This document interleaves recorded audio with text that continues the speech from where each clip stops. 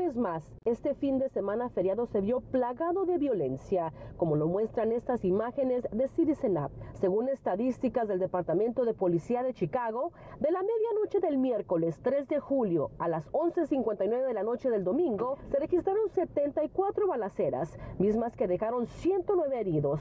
19 de ellos perdieron la vida. But these are not just numbers on pages. Ante dichas cifras, el superintendente Snellen y el alcalde Brandon Johnson hablaron al respecto en conferencia de prensa. These are 19 families whose La vida de 19 familias ha cambiado para siempre. 19 familias se despertaron sin un hijo, una madre, un padre. Familias perdieron una tía o tío. La vida de más de 100 personas nunca más será la misma. Tanto el alcalde como el superintendente fueron presionados por reporteros para que hablaran sobre los ajustes que son necesarios para frenar la violencia armada en las calles de Chicago. We need people to start coming forward. We need people to take responsibility.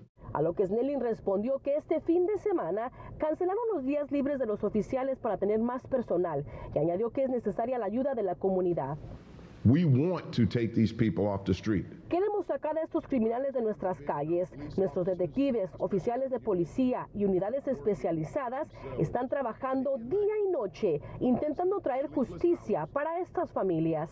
Por eso fuimos al concilio municipal. Ahí nos encontramos con Mike Rodríguez, quien fue enfático al decir que hace falta tener leyes más estrictas que restrinjan la venta de armas.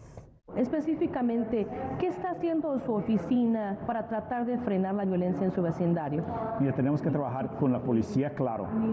Con el comandante del décimo distrito tenemos pláticas diarios y puede ser como un fin de semana como esta, de hora a hora. Pero más allá es de trabajar con la comunidad. Mira, tenemos que promover más fondos para lo- los programas de prevenir violencia. Eso lo estamos haciendo con el alcalde y también con el Estado y el gobierno federal.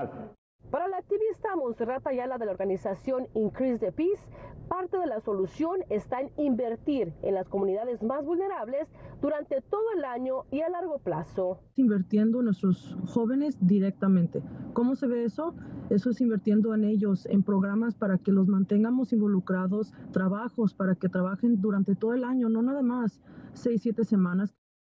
Por cierto, este martes el Departamento de Policía de Chicago abrirá un centro de asistencia de emergencia donde las víctimas de la violencia de armas podrán recibir recursos y servicios. Para más información, escanea el código QR que está apareciendo ahí en su pantalla. En el cuartel general de la policía, Carmen Vargas Noticias, Univisión Chicago.